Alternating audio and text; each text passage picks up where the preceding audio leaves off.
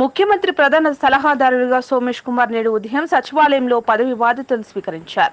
ప్రధాన సలహాదారులుగా ఆరవ అంతస్తులు కేటాయించిన ఛాంబర్లో అర్చకుల పూజలు నిర్వహించారు. బాధ్యతలు స్వీకరించిన అనంతరం సోమేష్ కుమార్కు సచివాలయంలోని అధికారులు సిబ్బంది శుభాకాంక్షలు తెలిపారు. దానిపై విశ్వాసం ఉంచి రాష్ట్రానికి సేవ చేసే అవకాశం కల్పించినందుకు ముఖ్యమంత్రికి ముఖ్య సలహాదారు సోమేష్ కుమార్ కృతజ్ఞతలు తెలిపారు. నిరంతర న్యూస్ అప్డేట్స్ కోసం ఛానల్ని సబ్స్క్రైబ్ చేసుకోండి. పక్కనే ఉన్న బెల్ సింబల్ని క్లిక్ చేయండి.